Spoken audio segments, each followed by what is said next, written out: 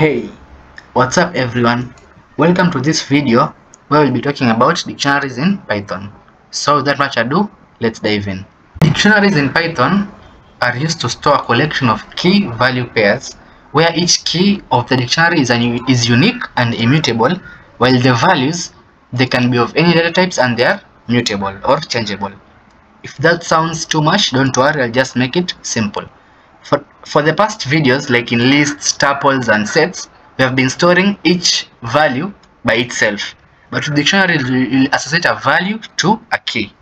So example, if I need to store, let's say some emails of, let's say, workers in a company, I can just call that dictionary emails like that. Then to create a dictionary, use this curly braces, just like in sets. But this one will be, a, if, if I print this, this is an empty dictionary. Don't confuse this to an empty set. We said that an empty set is created using the set constructor. This is how an empty set looks like. But an empty dictionary looks like this. Don't don't confuse those. Okay. So once I create that dictionary, I can put values inside here. The left part is the key and the right part is the value. So I have said that keys have to be unique. So you cannot have more than you cannot have the same key twice the key is unique. That means it only only can only appear once. So let's say i have a key. Since i'm storing the emails of workers let me say i have a worker called dan. That will that will be the key. Then to separate the key from the value put a full colon. So i'll put a colon.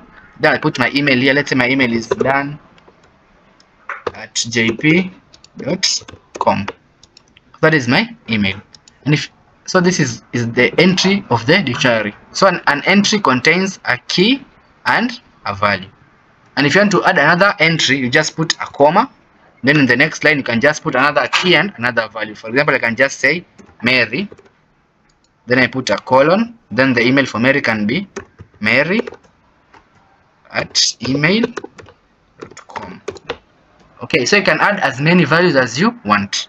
And to print them is just simple just like how we did with lists you just print email. Like that. And if I run this code you'll just see the it will appear the way it I have defined it. So that's it just appear the way it is.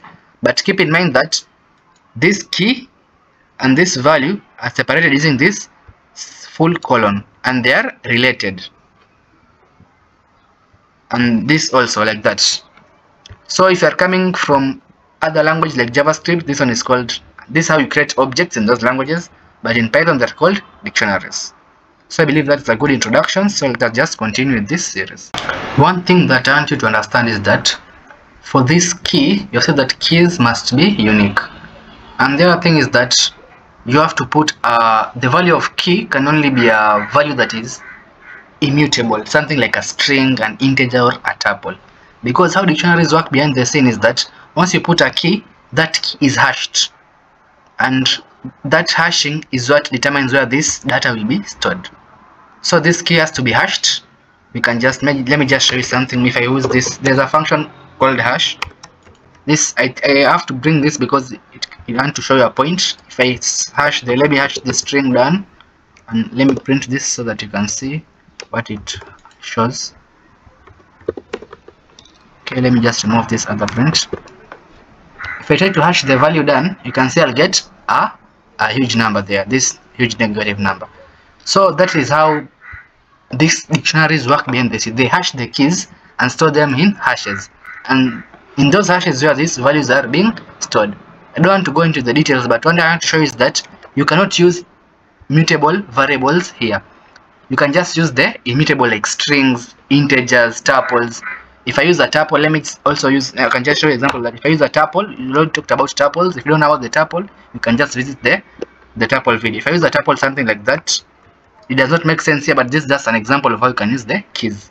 And I can give it any value. You said that the the value can be anything. The value has no problem. But the, the problem is with the key. The key has to be something that is immutable. So if I save this and run this code, there is no problem. I can just print, I can just return my print statement here and just print images you can see this is no there's no problem with that. But if i put you can let us just confirm before you can see there's no problem with that.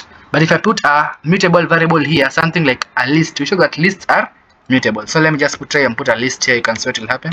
If i put a mutable a mutable value like a list and i run this code there'll be a, a problem in that dictionary. To tell me that unhashable type list has been used. So for for keys you should only use data types that are immutable. If you use a mutable key it will prompt an error. So i need to drive that point home first before I proceed with dictionaries. So let me allow me to just remove this and return my code the way it was. So this is the simplest way and the common way in which you create dictionaries. But there's also another way you can create dictionaries using, using the dict constructor. It's here. You can create a dictionary using the dict constructor. Let me just copy this and just show you how that can be. So if i just copy that code there you can see i used it's used the dict constructor and you pass the key and the value. So here the key is name the value is alice then it, there's another key called age the value is 30 then the other key called is student and the value is false. So that's another way of creating. Dictionary using the dict keyword. And if i print person let me just print person see it will just be dictionary. If i run this code we'll just confirm that it's a dictionary. And you can see indeed i got a dictionary of key name value alice key age value 30 key is student and value false. So key value pair. That's what that's how we we said so the other thing is adding dictionary items. How to add items inside a dictionary? Before adding items let us first see how you can access those items in a dictionary so allow me to reuse the one that i had before. So to access each item in the dictionary you can use the the key. So it's here in the notes. Use the, this key to access the value of that. So if i wanted to get this email here i'll use its key which is Dan. Thing that is just simple i'll just say something like emails because emails is the name of my dictionary. Then emails has a key of Dan. So i'll just put square bracket then i put my key there Dan. And if i print this let me just print it so that you can see i'll get the value Dan at jp.com and this is how you get the values of items in a dictionary. You can say get Dan.jp.com and if I, if I wanted to get this value for Mary I'll just change the key here to Mary. And that is how you get that is how you can access items of a dictionary by referring to their keys also you can use the get method but this one is the simplest but you can also use the get method. So you just say dot get then you have said a method because so you put parenthesis not square brackets now. Then you, you pass the item that you want to get you pass the the key of that item. So if i say email dot get Dan i'll get the email of Dan. So if i save this code and run it you'll see just the way we saw before the email of Dan will appear in the console. So there are two ways of accessing items in a dictionary. Using this get method or using the square brackets and putting the the key there. So those are the two main ways of accessing items in a dictionary. When we started we said that the values of a dictionaries are mutable. The keys are not mutable but the values are mutable. So to change the values of a dictionary is allowed so that's what we learn next how to change the value of an item in a dictionary. So for example i have this key Dan whose which value is Dan.jp.com and let's say i wanted to change the email of Dan. I can just do that simple. So let me just do that here before i print the email. So first i'll have to access that item. And i said to access that item you can use the i that's why I, I that's why i insisted on using this square brackets because that's the simplest way. So i'll just say emails then i say square brackets then i put the key there Dan then i'll just give it another value let's say i just i can just instead of Dan at gmail.com i can just give it another value let's say Dan at email.com or I can just say D so that you can see the difference. So you can see initially the email of Dan was Dan at jp.com. Now I have changed it to D at email.com and I've used this syntax. I just put the name of the dictionary, then I put square bracket, then the key, then I assign a different value. We say that this is the this is the way that you use to get that value. So it's just you're just getting that value, then you're giving it another another value. I think that is just the way you do it in variables. And if I run this code, you can see now the value of Dan will now be d at gmail.com. It has changed. And that is how you change the, the values of a dictionary. Another thing is that if I want to add items in this dictionary, initially now we have two entries. If I wanted to add another entry, I'll just do it in the similar syntax. I'll just say emails.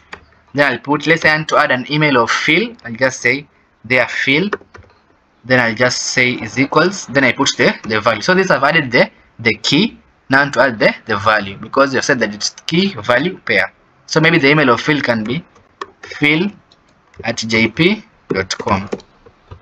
And if I now if I print emails, you can see initially we had two entries and now I've added Phil. So if I print this email, I should see Dan, Mary, and Phil. You can see now there is Dan, there is Mary, and there is Phil. And that is how you add items to a dictionary. So the next thing that you learn is how to remove items from a dictionary. To remove items from the dictionary, you can use multiple methods and we'll discuss all of them. So the first method is this one called the pop method. So the pop method removes item with the specified key and returns its value. The whole idea of pop is it returns its value. So if I wanted to remove Mary from this list, I can just say emails dot pop then I put the the key. The key is Mary. And if I run if I run this code, I'll just get the emails without Mary. I'll just get Phil and Dan. You can see this this Dan and Phil. Mary is not there. And we have said that this pop returns the value. So if I store this into a variable, if I store this to a variable, I'll just call that variable removed. And if I print that variable, you will see that I'll get the value that has been that has been removed. So if I run this code, I'll get the value mary at email.com because that's the value that has been removed. You can say I'll get mary at email.com and this will be this will be my updated dictionary. And, and that is not the same with the other method. So this pop method is unique because it returns the, the value. The other way to remove items from the dictionary, you can use this, this method called the pop item. So pop item does not return a value, but you can just see it. I'll just change this to pop item, like that, pop item. And pop item does not take any argument, so I'll just remove this. And what this pop item does, it removes the last inserted key. So in this case, the key that has been inserted last is Phil. So expect if I say emails.pop, Phil is the one that has been will be removed because Phil is the one that has been inserted last.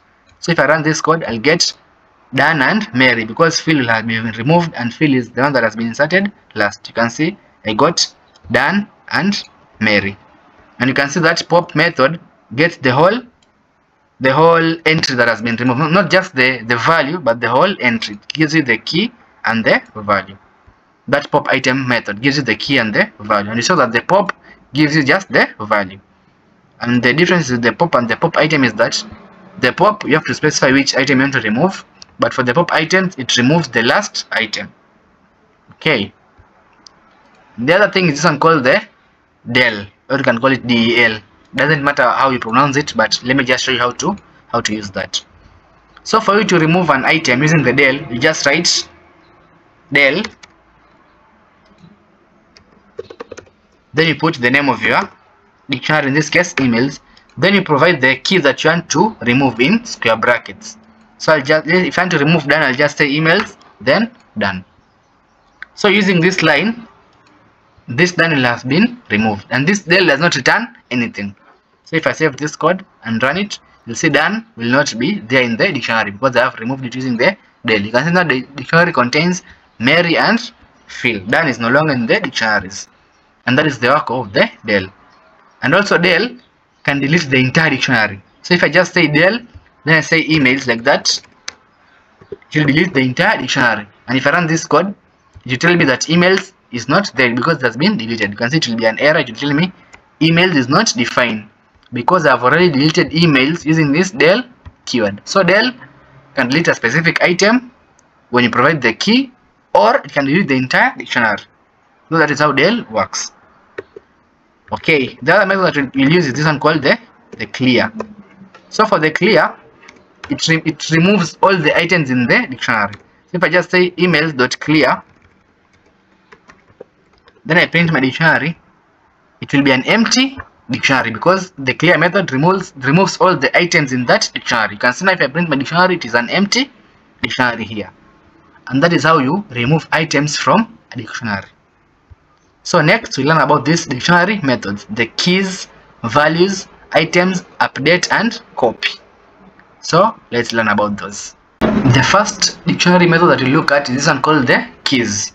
So the keys returns a view object containing all the dictionary keys. For example, if I need to get all the keys of this dictionary email, I'll call the keys method. So I'll just say here dot keys like that. And if I send this to a variable, I'll just call that variable keys also. And if I print keys, you'll see that a view object of all keys will be displayed.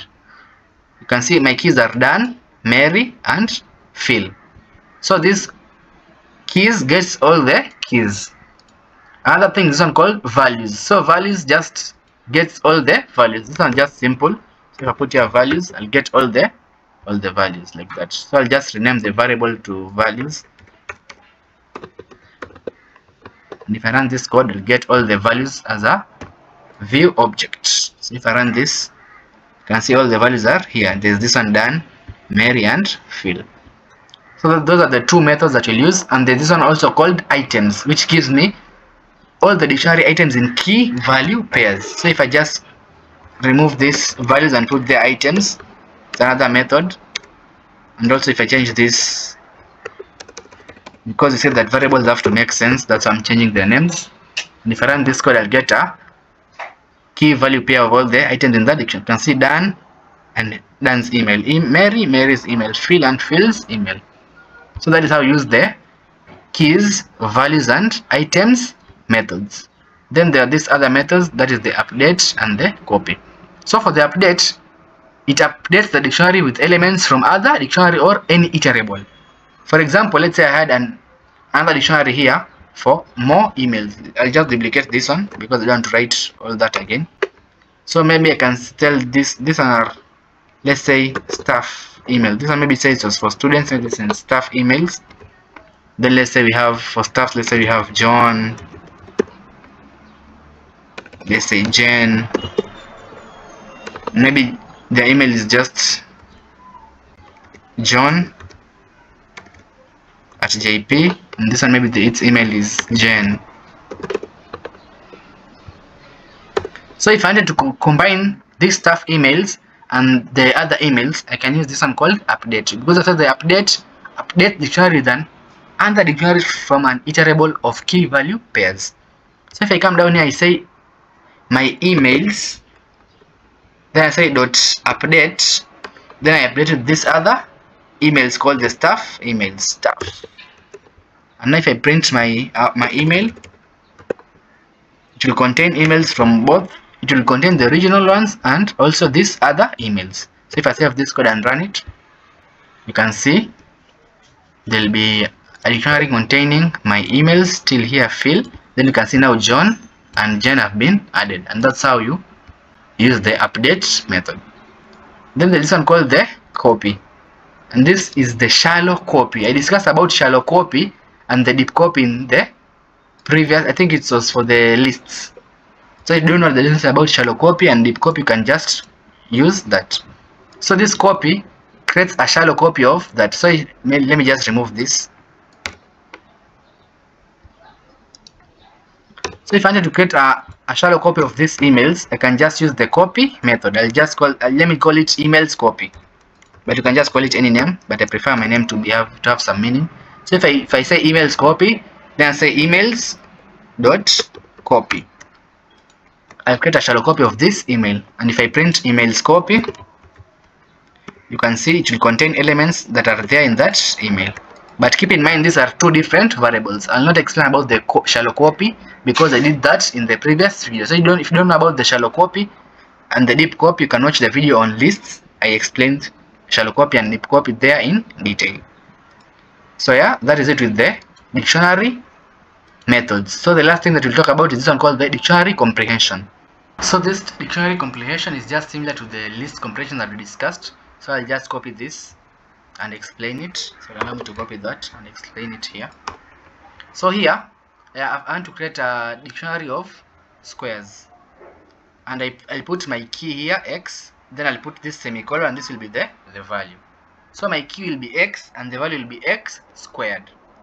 And I'll loop through the numbers 1 and 5 0 and 5 so for every for every number that will be the key and the value will be that number squared I think that's just simple so if I print if I run this code you'll see for every x the first key will be 0 then 0 squared is 0 so the the first entry will be 0 and 0 in the second iteration the value of x will be 1 so it will be 1 and 1 squared is 1 so the next item will be 1 and 1 in the next iteration the value of x will be 2 so the key will be 2 and the value will be 4 because 2 squared is 4 like that until 5 so if I run this code expect to see a dictionary with keys and value pairs. You can see the, the keys will be 0 0 1 1 2 4 3 9 4 6 and that is how you use the dictionary comprehension. Also you can use that using if you have two lists you can just combine them as you can see in this in this example here. If you understood the list comprehensions the dictionary comprehension is just the same so also in dictionary you can do nesting and this is the most common way you can see it. So let me just turn to the emails that I had. So let me just go on most I can just go back until I had the staff emails. So yeah. So you can see here I have this email. I also have this staff emails. I'm trying to show that you can have nested emails. So this staff email I can put them inside this original email so you can have a dictionary inside another dictionary but you have to follow the syntax. Say that for the syntax you have to put a key then the full colon then the value. So this key let me just put it as a string. You can see I'll have the key here as a string then I'll have the the value but I have to put a comma here because I've said to separate different values you have to separate them using commas. So I can have a key and the value can also be another dictionary and that is called nesting dictionary. So you can have and maybe I can just format this to look good. I can just put some space here so that it can look a little bit better so that it can be easy to read. But not a must to put that space. If you can read it that's fine but I prefer putting this space so that I can read it well. So here I have the first key Dan and the value is here. Another key Mary and the value here. Then I have a key called staff emails and the value is another dictionary so I have a dictionary inside another dictionary that one is called dictionary nesting. And if I print this you can see it will just print fine. Let me just save that and print. You can see it is just fine. And that is how you can have nested dictionary. And to access them it's just the same like just like they did the 2d lists you can just access them in the same way. But maybe I can just show you how to access them. Maybe if I wanted to access the email of John this email I'll just say emails. Then I'll put my key there staff emails. So if I say email staff emails I'll have accessed this object. But I can just print to prove that. So if I print this I'll access I'll get an object. You can see it's an object. So in this object you can also use the same syntax to access each individual item. So since you know that this, this is an object I can use other square brackets here like that. To if I need the value of John I'll put here a key of John and now using this syntax I'll access this value john at jp.com and if I run it you'll see that is exactly what I'll what I'll get. So you can see to access nested to access nested dictionary is just like the way we did with nested lists. It's just the same way. Just put two square brackets. And that is it for this video guys. But before I end you might ask why, why can you use dictionaries. Dictionaries are highly used because of their speed. They are known for huge speed. So even if you have a, a huge dictionaries to add data into that into that dictionary and to remove data is just fast. And that's the main advantage of using dictionaries. So see you in the next video. Peace out